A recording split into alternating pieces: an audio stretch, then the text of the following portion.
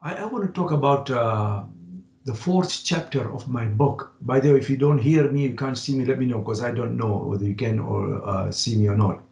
But uh, it's the fourth chapter of my book, which is uh, hopefully will be done by uh, the end of the summer. Uh, the working title of the book is something like Shiism Revisited, Ijtihad and Reformation in Contemporary Times. But in this chapter, that is the fourth and final chapter, uh, I discuss what I call post-ijtihad phenomenon. Post-ijtihad basically um, means that there, are, there are certain weaknesses and problems with the current form of ijtihad. Uh, as somebody said correctly, in my view, that ijtihad itself needs another ijtihad.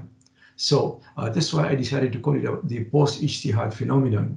Um, I call it because it tries to ameliorate uh, the weaknesses in the current forms of jurisprudence uh, it tries to go beyond normative texts and posit certain exegetical tools that a new form of jurisprudence could deploy. And I'm not just talking about things like the la, uh, la dharar uh, and maslaha uh, and so on, or la uh, haraj and so on. I'm talking about um, new kinds of exegetical tools.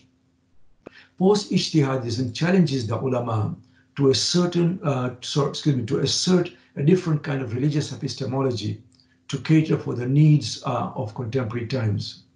Furthermore, uh, it challenges scholars to rethink and re-examine the axioms and epistemological assumptions along which the law was developed in the past.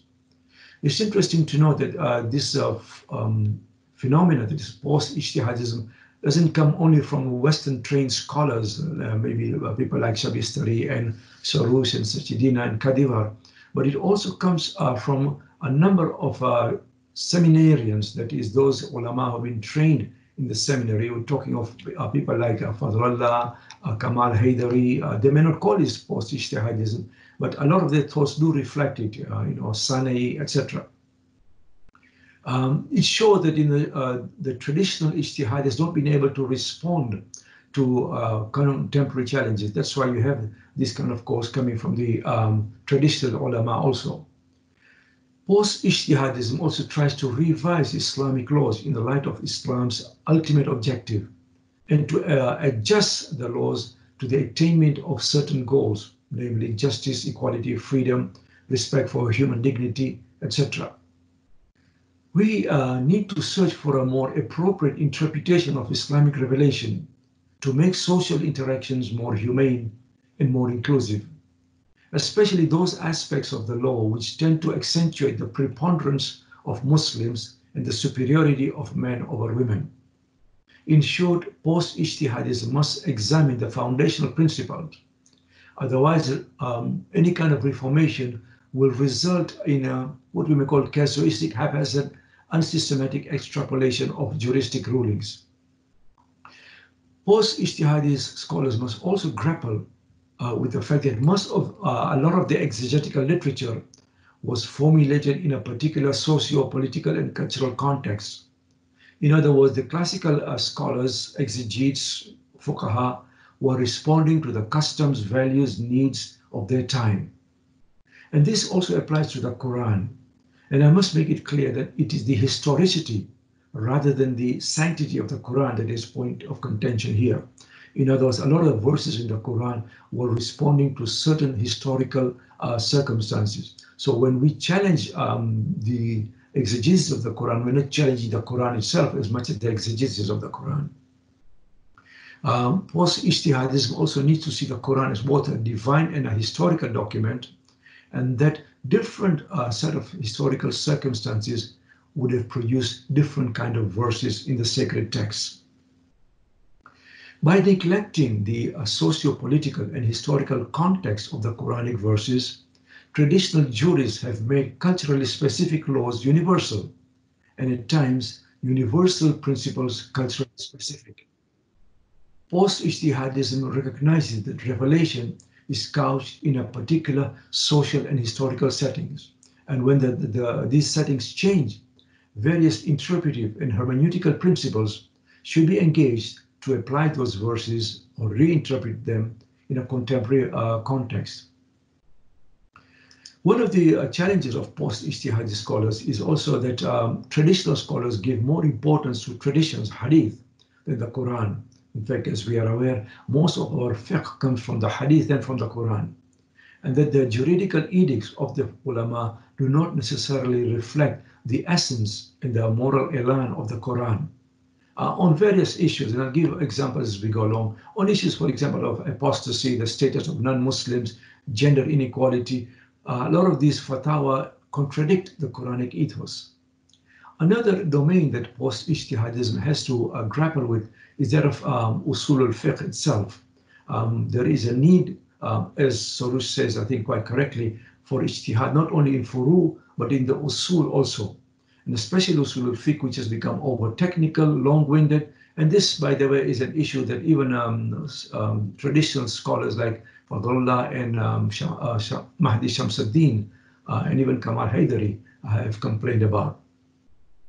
In addition, there is a need to distinguish between those values which are eternal and immutable from those which are socially and culturally conditioned and thus contingent. Um, for example, Fayz Kashani says that when we have traditional, uh, or rather traditions which conflict with each other, the normal trend is to try and harmonize a different tradition through different kinds of uh, devices, you know, abrogation, or this must have come earlier than later, or, you know, um, that we remove the hand of this one, um, and so on. Um, but he says, no, that we have to be cognizant of the fact that the Imams lived in different times. That is, for example, the third Imam or the uh, fourth Imam lived in different times from the eighth Imams. And therefore, different traditions do not necessarily contradict each other. Rather, they reflect the different circumstances in which the imams live. That is, the fourth imam, in this case, live in separate conditions or different conditions from the uh, eighth imam. There is also uh, post-ijtihadism also has to grapple with the issue of uh, the fact that the rational and moral imperatives are ignored uh, in front of, uh, in favor of well-established rules and procedures of deductions. Uh, the problem is that traditional jurists will often infer and impose legal determinations, even if they are immoral or abhorrent in social contexts, uh, in, uh, against what is rationally acceptable to people of sound mind. When I say people of sound mind, I mean the uqala. So there is a this, uh, this juncture, as I call it, between the juridical and the ethical. And you see this very, very frequently in different chapters of our fiqh manuals. So, for example, ethically, Muslims are supposed to behave ethically. Uh, they're not allowed to be dishonest or deceive anybody. And yet, in uh, the jurisprudence, we read that uh, Muslims can steal from non-Muslims. That you know you cannot um, donate organs to non-Muslims, but you can receive from them. Um, lot, some of our traditions say that you can backbite and slander Sunnis simply because um, they do not believe in the wilayah uh, some of the unethical um, um, fatwas that I have problems with that, you know, you can perform uh, for example, temporary marriages with prostitutes and so on. It is to be remembered that God's legislation is interwoven uh, to his ethics. The two cannot contradict each other because a just and ethical deity will not violate ethical imperatives or the rights of his creatures. Therefore, post-ijtihadis have to um, historicize and contextualize the Islamic legal system to the ethical trajectory of these sacred sources. In other words, the reformers must not only contend with the historical juridical system, but also with the theological and ethical ramifications of these juridical uh, inferences.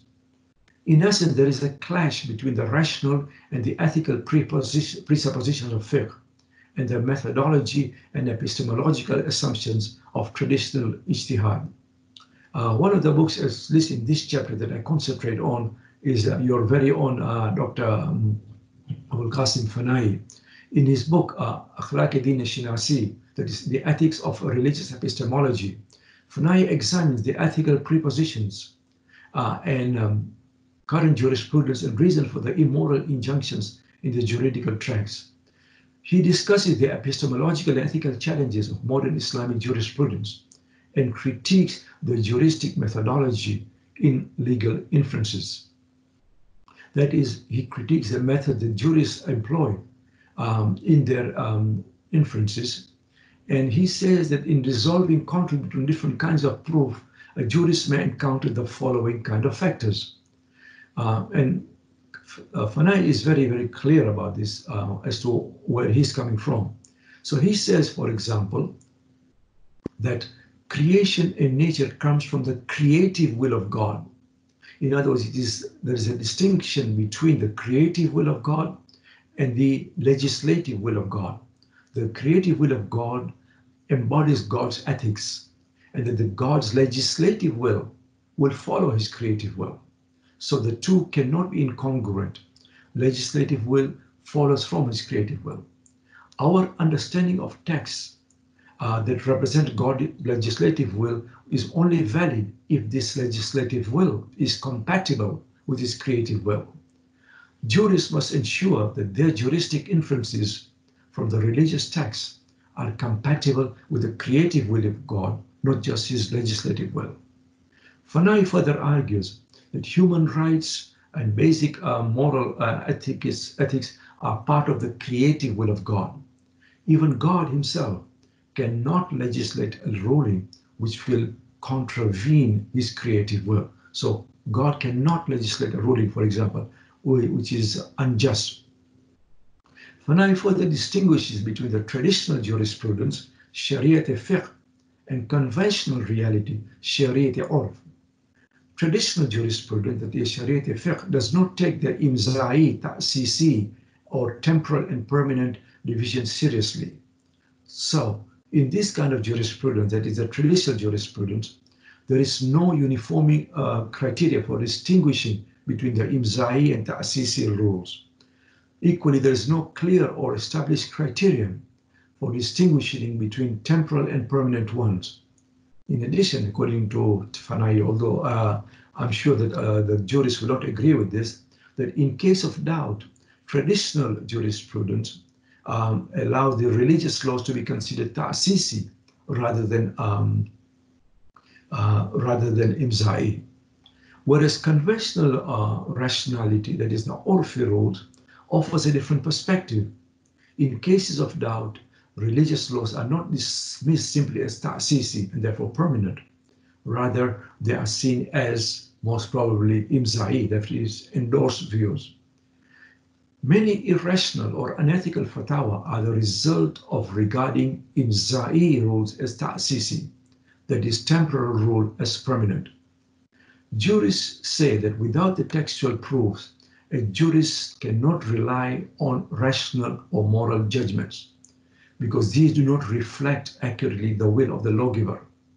Thus, traditional ulama ignore the rational and moral principles, however much rational uh, however much the rational community may agree on their enforcement. In other words, textual, uh, textual sources are preferred over the judgment of morality, even though epistemically both genres of proofs are problematic. Neither of these, that is textual or moral um, judgments, demonstrate indubitably that they reflect the true intent of the divine. Unfortunately, in the traditional um, jurisprudence, textual sources are accepted even if they are immoral. In the process, jurists devalue the epistemic value of divinely endowed intuitive reasoning. And this has resulted in issuing juridical opinions that violate, that violate common understanding of ethical judgments. Fanai disputes the juristic prioritization of certain conjectural proofs and he argues that God speaks to us through both reason and revelation. God cannot grant us reason and then instruct us to neglect or discard it, especially when reason informs us that what has been transmitted in a hadith is unethical and improper in a particular instance. Fanai uh, invokes a concept which has been uh, um, used before, the concept of secular ethics, Secular ethics basically means that ethical values are trans-religion, trans-cultural, and they are based on human faculties like the identification and validation of uh, ethical concepts and values do not depend on God's pronouncements, and they are independent of any religious decree. Ethical values and norms uh, can be discerned by human cognition, and are validated by people of sound minds. These values uh, and norms, which Fanai terms as the Sharia of reason, Sharia Aqlani, are independent of what is called the Sharia of jurisprudence. So it distinguishes between the Sharia of reason, Sharia Aqlani, and Sharia Fiqhi, the Sharia of jurisprudence. Because ethics are a trans-religion and they precede religion. And therefore it is impossible that the religious ruling should contain an ethical, uh, anti-ethical component. This is simply because the lawgiver cannot promulgate or endorse what is unethical. Neither can he forbid what is ethically correct and sound. Why? Because the essence of the lawgiver, that is God, is important in illustrating the type of law that he enforces. The advocates of Sharia of jurisprudence argue that ethics is epistemologically and logically dependent on religion. In other words, religion determines the ethical uh, imperatives. The theories of uh, religious ethics, on the other hand, believe that the will and the commandments of the lawgiver is prior to the moral commandments. In other words, according to them, moral values cannot be discerned independently of religion. As to neglect aql, which is also built on zan. The uqala, in short, will accept khabarul wahid or zahirul kalam uh, based on the presumption that another dhan, that is of aql, should not be stronger or be able to override it. In essence, then, uh, here I think Fanai is in agreement with me that what is legally correct is not necessarily morally right. In fact, it could be the opposite. That is, what is legally correct could be, and sometimes we find is morally uh, improper by claiming that the Uqala will reject Khabar al-Wahid if it is immoral. Fanai refutes the claim the, uh, that an authentic Khabar al-Wahid must be accepted because it has been accredited by the lawgiver. Rather, he argues that when the two conjectures of Aql and Naql clash, the Uqala will reject the weaker of the two Zan. They will not necessarily accept Zan and Naqli. By accepting the, zong, uh, the stronger Zan, religious acts will conform to the apparent ruling, not necessarily the actual ruling, hukm zahiri. Interestingly, um, what I argue is that by prioritizing naql over aql, juries are guilty of violating basic ethical precepts. Ironically, God does not issue rulings that the uqala seem to be uh, deemed to be immoral um, since he's a race But the fuqaha do it on his behalf. In other words, they impute immoral acts to God on his behalf. They declare rational uh, conjectures to be invalid, and uh, even if it is uh, moral. And they also declare um, the textual conjectures to be valid, even if they are immoral. Um, I'll skip uh, through some parts because I know I'm running short of time. Um, when we have a blanket uh, refutation, as the ulama do, uh, of conjectures, it means human beings should uh, refrain from intellectual faculties. In many cases, we find that naqli proofs are invalid too. Fanai concludes that when the truth is neither clear nor accessible, and certainty is impossible or difficult to attain, both reason and revelation oblige us to act, act upon conjectures. In other words, we cannot get cattle most of the time, and therefore we are obliged to resort to dhan. The banning of the use of rational dhan would render revelation invalid as well, because both of them are forms of dhan. The dilemma then here, I would argue, is that both moral and rational judgments do not yield certitude and that moral values cannot be considered to be sources of Sharia precepts, however just or ethical they may be. Whereas textual sources, which are also based on Dhan, are considered authoritative, however immoral they may be. This interlacing of authority with certitude has meant that rational judgments, however moral they may be, have no impact on inference laws. And because of this, we find in our fiqh practices and customs like child marriages, playing with the private parts of infants, the inherent deficiency of women, and laws surrounding uh, child custody, which, by the way, many of these were premised and predicated on Arab tribal customs. These um, laws are taken as permanent and immutable. Not only are they seen as immutable, but they are imposed on contemporary times, even if the Uqala find them unconscionable in our own time. The dichotomy, then, is not only between ethics and law, as I argue, rather the tension is also between the judgment of the people of a sound mind, that is the Uqala, and the law. So it's not only between ethics and law, but also between Uqala and law. This is where the tension arises. The jurists argue that the Sira and uh, um, the Sira and Uqala uh, accept and act upon Khabarul Wahid. However, I would argue that the Uqala do not accept or blindly accept Khabarul Wahid, even if it is from the Prophet or Imam, if they feel it is immoral. Why? Because the same Sira which tells us to depend on Khabarul Wahid also insists, the same Sira also insists that the immoral Khabarul Wahid could not have originated from the Prophet or the Imams. The same Sira which validates Khabarul Wahid also accepts and supports moral judgments. It also accepts that the Sira, the Uqala, accept the equal rights of divorce for a woman and the abhorrence of um, pre, uh, pre, uh, prepubescent sex, even if these moral judgments are not based on reports from the Imams.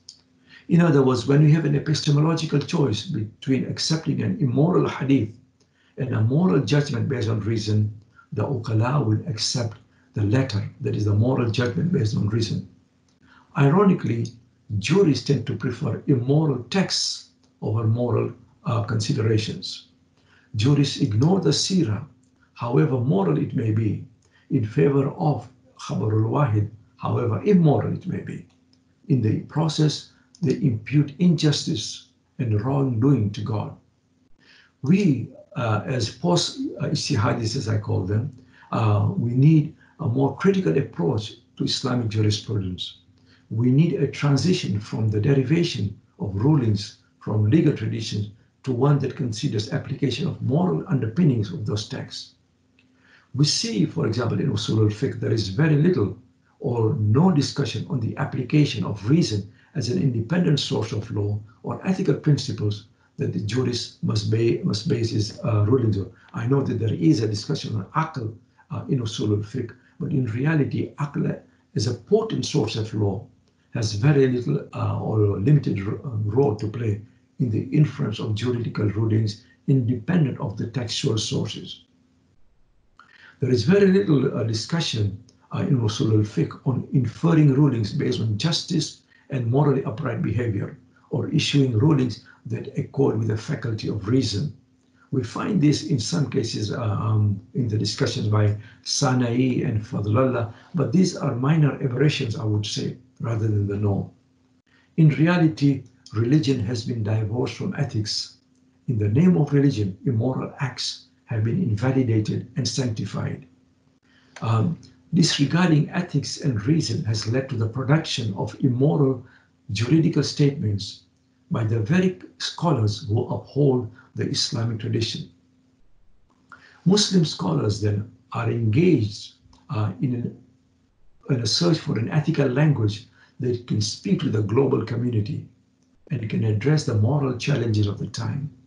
We need to reassert and re-examine the moral directive of the Islamic text and need to rethink and relink, rethink and relink the ethics, the connection between ethics and law.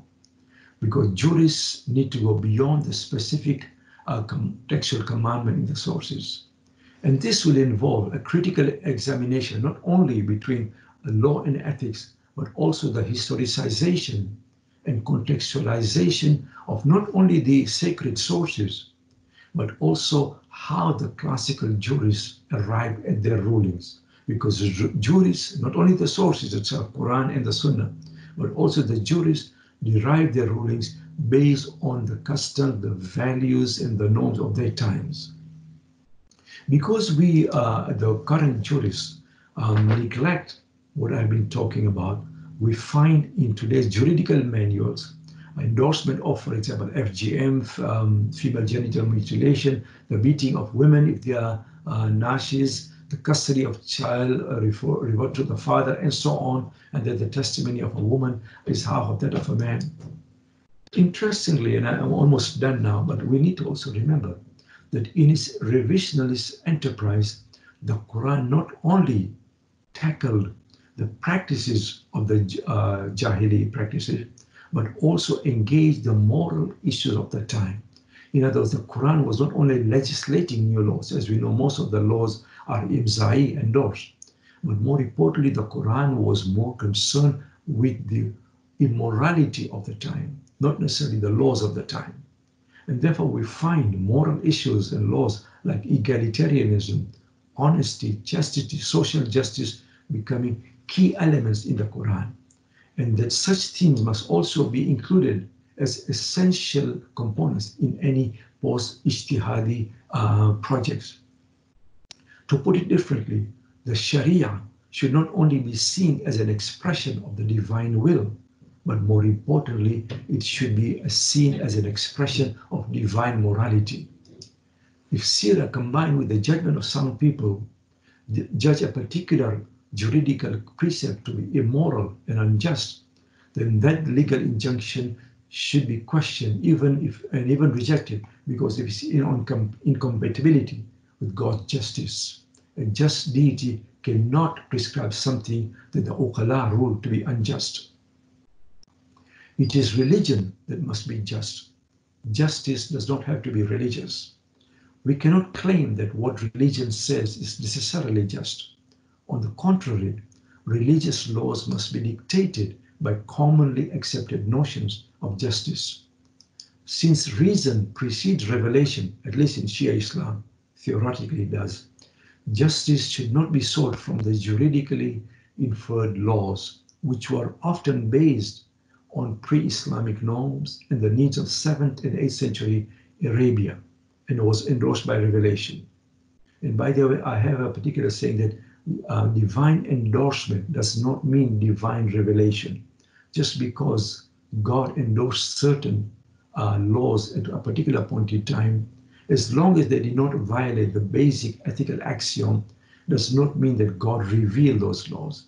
That those laws, had they been different at, uh, at the same time that Quran was revealed, the Quran would have endorsed them too, as long as they did not violate the basic um, ethical axiom. Jurists have often sacrificed the principles of equality and justice when faced with the pronouncements of erstwhile jurists, regardless of the socio-cultural context of the earlier statements. Those of you who are uh, on this uh, Shia chat group uh, the Shia scholars will remember, I think maybe about three or four weeks ago, there was an interesting discussion between the, um, the, the, laws which are, um, uh, they, they, were called laws which are amali and ilmi, fiqh amali and fiqh ilmi. Fiqh ilmi is what a jurist may find in his research. But often what he finds in his research is not what is published uh, in the uh, books, in the textual manuals, for various reasons. Because sometimes jurists feel that they cannot contravene the ijma or what is ashhar or mashhur, uh, and because of the possibility of backlash from um, the public. And therefore, there is a difference between what is published in the um, was uh, the books, juridical manuals, from what a jurist find himself in his own research. For example, Ayatollah al-Khoei uh, believed that the actual time for Maghrib uh, was the time when the sun sets. And yet, when you look at his um, juridical works, he says that it is only when the darkness sets in, not when the sun sets, that the time for Maghrib, because that is uh, Ashhar, even though the other one is Mashhur. In conclusion, then, I have argued that there is a need for extensive rethinking of religious epistemology so that it can guide juridical decisions. Post-Ijtihadism could provide a basis for alternative juristic models offered by eminent jurists and the interplay of the foundational principles of Ijtihad with various disciplines to reconstruct Islamic thought and legal theory. Reformers, that is, post Ijtihadis, face the formidable, formidable challenge of adjusting and revising erstwhile juridical opinions to the changed circumstances of today's society.